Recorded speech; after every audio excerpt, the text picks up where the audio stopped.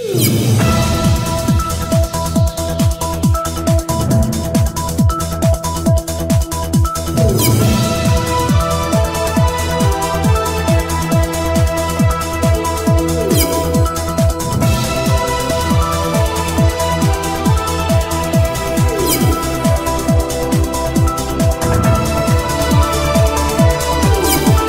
ತೈಲ ಬೆಲೆ ಏರಿಕೆ ವಿರೋಧಿಸಿ ಕಾಂಗ್ರೆಸ್ ನೇತೃತ್ವದಲ್ಲಿ ದೇಶಾದ್ಯಂತ ಪ್ರತಿಭಟನೆ ಮತ್ತು ಭಾರತ್ ಬಂದ್ ನಡೆಸಲಾಗುತ್ತಿದ್ದು ಮಿಶ್ರ ಪ್ರತಿಕ್ರಿಯೆ ವ್ಯಕ್ತವಾಗಿದೆ.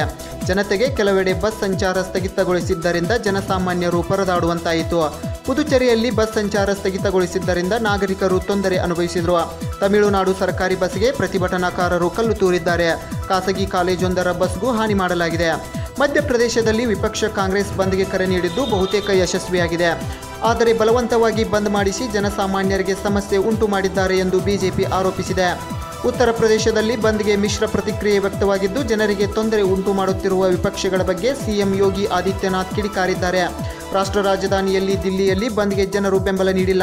ಶಾಲಾ ಕಾಲೇಜುಗಳು ಎಂದಿನಂತೆ ಕಾರ್ಯನಿರ್ವಹಿಸಿದ್ದು, ಜನಜೀವನ ಎಂದಿನಂತೆ ಸಾಗಿದೆ. ಬಿಹಾರದಲ್ಲಿ ಪ್ರತಿಭಟನಾಕಾರರ ರಸ್ತೆ ತಡೆಯಿಂದ ಆಂಬ್ಯುಲೆನ್ಸ್ ಒಂದು ಟ್ರಾಫಿಕ್ ಜಾಮ್ನಲ್ಲಿ ಸಿಲುಕಿದ್ದು, ಅದರಲ್ಲಿದ್ದ ಎರಡು ವರ್ಷದ ಮಗುವೊಂದು ಸಕಾಲದಲ್ಲಿ ಚಿಕಿತ್ಸೆ ದೊರಕದೆ ಸಾವನ್ನಪ್ಪಿದೆ. ಅಣ್ಣಾ ಸಲೈನಲ್ಲಿ ಪ್ರತಿಭಟನೆ ನಡೆಸುತ್ತಿದ್ದ ಕನಿಷ್ಠ ಮುನ್ನೂರು ಜನರನ್ನು ಪೊಲೀಸರು ಬಂಧಿಸಿದ್ದಾರೆ. ಭಾರತ್ ಬಂದ್ ಹೆಸರಿನಲ್ಲಿ ಬಸ್ಗಳಿಗೆ ಕಲ್ಲು ತೂರಾಟ, ಪೆಟ್ರೋಲ್ ಪಂಪ್ಗಳಿಗೆ ಬೆಂಕಿ ಹಚ್ಚುವುದನ್ನು ಮತ್ತು ರೈಲುಗಳಿಗೆ ಹಾನಿ ಎಸಗುವುದನ್ನು ಬಿಜೆಪಿ ವಕ್ತಾರ ರವಿಶಂಕರ್ ಖಂಡಿಸಿದ್ದಾರೆ. ಮುಂಬೈಯಲ್ಲಿ ಬೆಸ್ಟ್ ಬಸ್ಗಳಿಗೆ ವಿವಿಧೆಡೆ ಹಾನಿ ಎಸಗಿದ ಹದಿನಾಲ್ಕು ಪ್ರಕರಣಗಳು ವರದಿಯಾಗಿವೆ. ಗುಜರಾತ್ನಲ್ಲಿ ರಸ್ತೆಯಲ್ಲಿ ಟೈರ್ ಹೊತ್ತಿಸಿ ಪ್ರತಿಭಟನೆ ನಡೆಸುತ್ತಿದ್ದ ಕಾಂಗ್ರೆಸ್ ನಾಯಕರನ್ನು ಪೊಲೀಸರು ಬಂಧಿಸಿದ್ದಾರೆ. ಇಂಧನ ಬೆಲೆ ಏರಿಕೆ ವಿರೋಧಿಸಿ ಪ್ರತಿಭಟನೆ ನಡೆಸುತ್ತಿರುವ ಸಂದರ್ಭದಲ್ಲಿ ಆಂಧ್ರಪ್ರದೇಶ ಸಿಎಂ ಚಂದ್ರಬಾಬು ನಾಯ್ಡು ಪೆಟ್ರೋಲ್ ಮತ್ತು ಡೀಸೆಲ್ ಬೆಲೆಯಲ್ಲಿ ತಲಾ ಎರಡು ರೂಪಾಯಿ ಕಡಿತ ಮಾಡಿದ್ದಾರೆ. Bureau report, GBN seven news, Navadehali.